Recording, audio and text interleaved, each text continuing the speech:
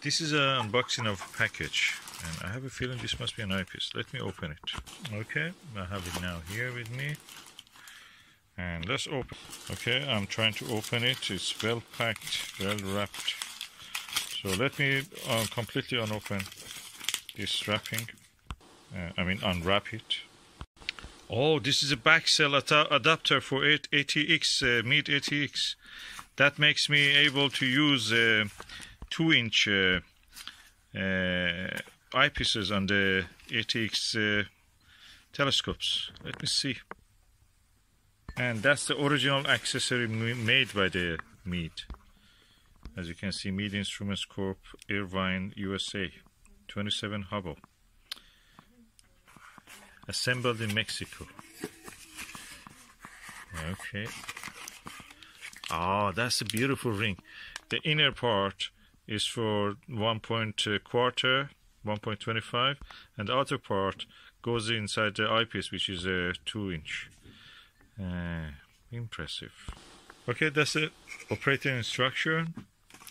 And uh, this makes practically uh, ETX into a Schmidt-Cassegrain telescope because it will you can attach anything to this you can attach um, focal reducer, you can attach eyepieces, you can attach anything that you want. Two two inch diagonal, and of course with the bigger diagonal, you will you will have limitations where you point your uh, the tube of telescope in near the zenith, for example, you cannot do it upright immediately because this will be stuck. By the way, nice, nice touch and this is by Rother Valley Optics. I asked for two, they gave me one, and they wrote me that we have only one at the moment. In a few days' time, we will receive another one, and uh, that is for uh, my two um, AETX uh, Meade ETX uh, telescope. Best image I've ever seen comes with these ones. I have two ETX 125 and one ETX 70. Okay, let's go and try it on the telescope. Okay, that is my Meade ETX uh, Premium Edition with the metal cap, PE as they call it, and uh, beautiful shiny metal blue. And this is the back backstop that I'm talking back focuser. So I'm uncapping. This is also the cap, so everything is metal. So I'm just uh, unscrewing it.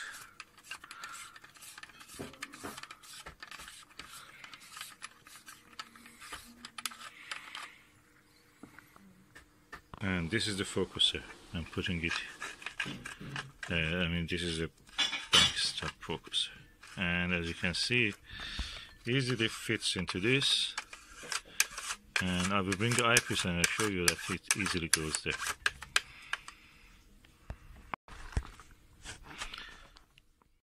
Okay I have now attached the uh, backstop adapter. So inner ring is 1.25 inch and outer ring is 2 inch. And now I have a focal reducer Celestron focal reducer. Uh, 6.3 times it decreases the focal ratio. And this is the focal reducer. I'm going to take it out and show you. Okay this is the focal reducer. I will open it. Okay this is the focal reducer directly goes on the back of that thread. I will thread it, I'll show you. Okay, what I have now is a focal reducer on a camera backstop of a Meade ETX 125. And now it's like a Schmidt-Cassegrain instead of being like a Maksutov. Maksutov, very good planetary telescopes. Now it, I can use it both as a planetary telescope from this eyepiece position and as a Schmidt-Cassegrain uh, short focal length with this one. Let me attach an eyepiece and eyepiece holder to this and diagonal. This is a Baader, Baader Planetarium um, 2 inch uh, um, diagonal and let's see if we can attach it to this. Okay, I've attached now the uh, the mid uh, adapter, then the focal reducer Celestron one, and then with that I can attach now this uh, screen uh, diagonal uh, focuser, diagonal barrel uh, focuser. And then with that, the focuser goes in, the diagonal, sorry. And top of it is the where the eyepiece comes. Now we have a ooh,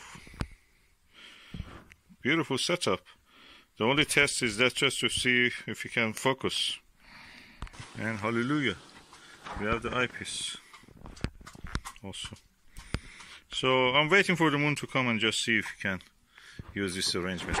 Quite long it looks. And I wonder if it works. But that's the way it is.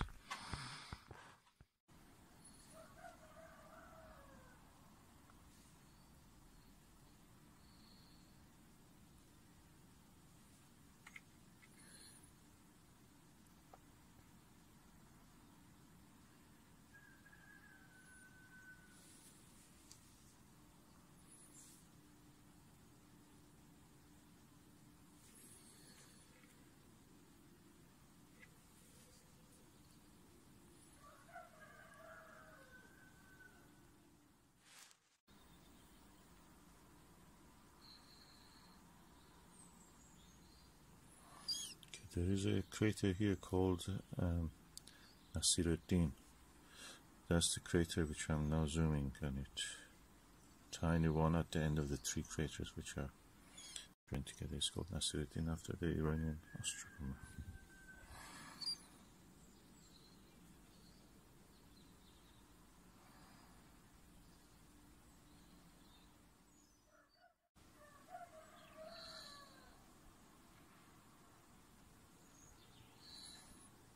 That's a Reiner Gamma, the bright patch in the middle.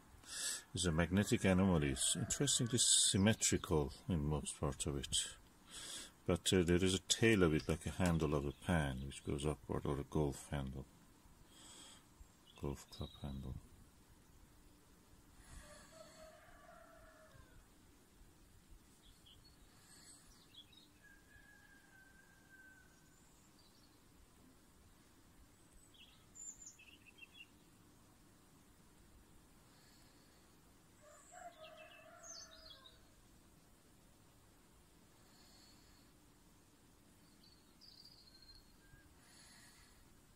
As you can see, the cloud layer, thin cloud layer, passing over it makes it difficult to focus.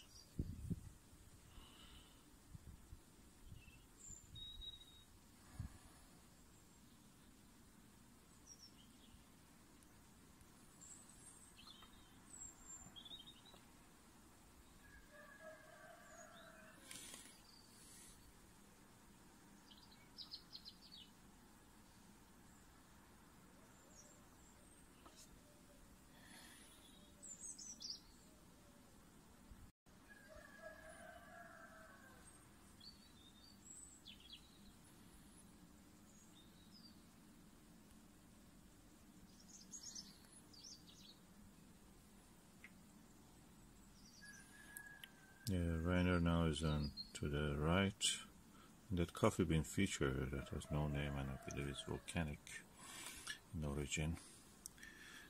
Kind of um, fountain of lava in the passages there. And also some graben you can see in the middle of it. There is a hollow area. That's two fault, parallel faults. The middle part of it has fallen and it's called graben. Interesting for geological study and structural geology. I try to focus on that feature that I'm the coffee bean feature I'm talking about. Yeah, that's what is now at the center.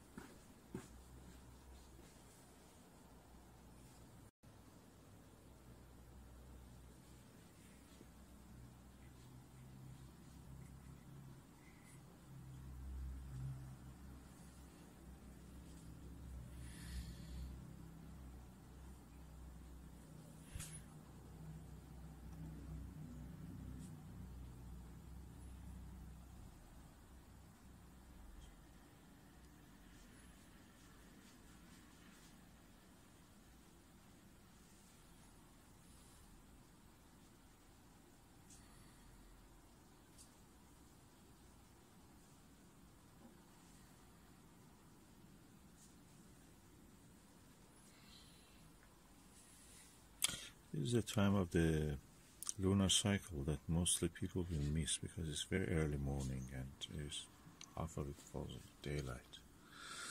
And either people are sleeping yet or they are just uh, going to work, so practically they will miss. And only you can see it in such a day like today, which is a holiday.